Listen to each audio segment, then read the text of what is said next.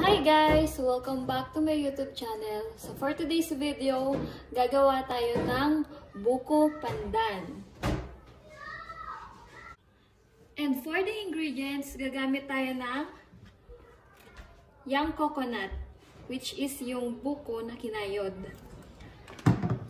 Condensed milk. Pasensya na ulit kasi pinaglalaroan talaga siya ng mga anak ko. Kaya tinanggal yung mga label. And then, yung whipping cream. Kung merong available sa inyo na evaporated milk, mas maganda yun kasi mas mas malasa siya. Pero masarap din to. And ito lang din kasi yung available sa location namin. Kaya, ito yung ginawa, ginamit kong alternative. And of course, hindi mawawala ang Master Gulaman na jelly powder in pandan flavor. And of course, huwag kakalimutan ang 1.5 liter ng tubig. And for the last ingredients, gagamit tayo ng white sugar, 1 cup of white sugar. So, ayun guys, umpisahan na natin ang pagluto sa gulaman. Ilagay natin ang 1.5 liter sa lalagyan. Kasya nga. And then, ilagay natin tong master gulaman. Pero huwag muna natin i-open yung stove para mahalo natin ng maigi yung mixture. At para masiguradong hindi nagbubuo-buo yung gulaman natin. Haluin lang natin.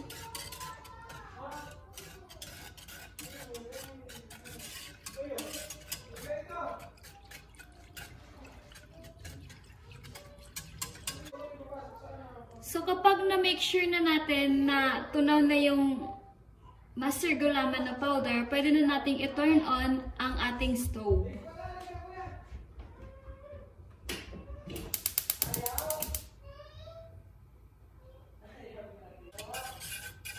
Continuous lang natin yung pag-stir natin hanggang sa uminit yung mixture natin. This point, mainit na yung mixture natin. Ilalagay na din natin yung 1 cup ng white sugar. Just be careful guys kasi baka mapasok kayo. And then, ihalo ulit natin.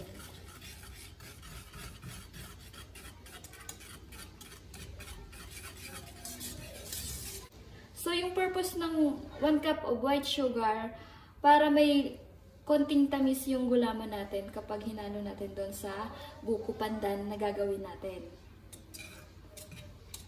For sure, para hindi naman siya boring, ba diba? Hindi yung matabang, para may konting tamis din. So, ayan, kumukulo na guys yung ating gulaman mixture. Pwede na natin siyang ilipat sa lagayan para patigasin. Turn off lang natin yung stove.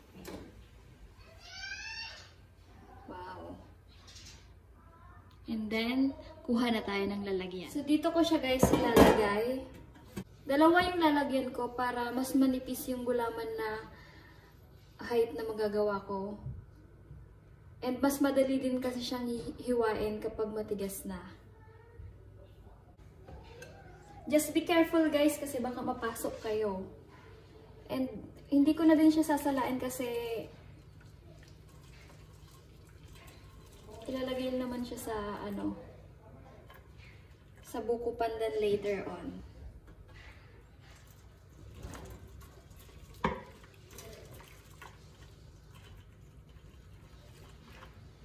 Ang bango.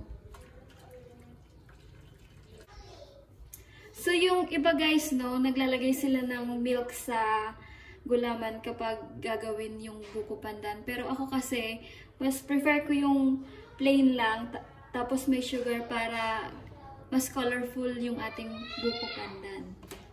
So, pagkatapos nating ilipat dito, papatigasin lang muna natin siya bago natin gagawin yung buko pandan. So, after an hour, matigas na yung ating gelatin hiwa-hiwain na natin siya. Maganda pala talaga guys kapag mas manipis yung gelatin natin pagpapatigasin natin siya kasi mas madali siyang lumamig. So, hiwain na natin.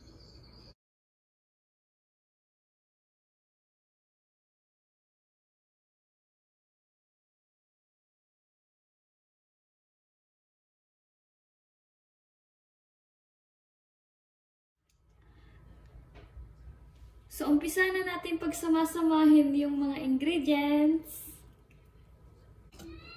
Una kong ilalagay yung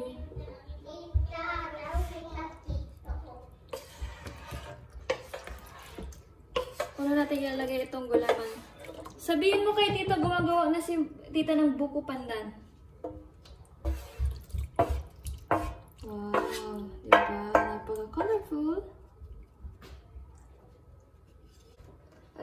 Course, ito pang isa.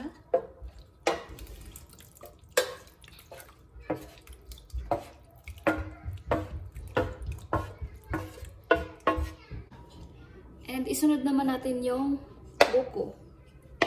So, mer kung meron kayong fresh na buko, mas maganda yun kasi mas masarap pag fresh. Eh, kasi nasa, hindi kami, eh, yung place namin hindi available yung fresh na buko. So, dito tayo sa dilata. And then, ilagay natin yung cream para sa ating buko pandan. Yay! Ito yung whipping cream na pwedeng gawing, ano, pwedeng gawing icing sa mga dessert. And then, ilagay naman natin yung isang can ng condensed milk. Ate Yumi, pwede bang kumuha ka ng isang... Ay, sige. Una pala. Ayan. Mama! And then, after natin malagay lahat ng ingredients, pwede na natin siyang haluin.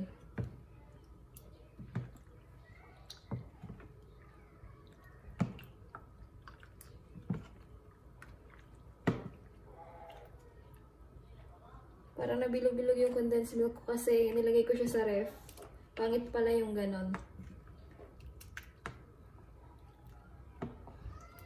Pero haluin lang natin siya ng haluin hanggang sa matunaw lahat ng mixture. Eh.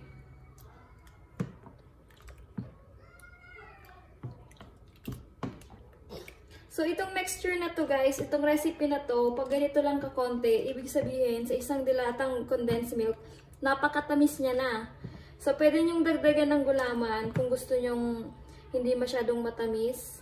Pwede nyo kayong gumamit ng dalawang sachet ng gulaman para hindi siya masyadong matamis. Pero ito kasing, anong to, recipe. Sobrang matamis talaga siya as in dessert na dessert.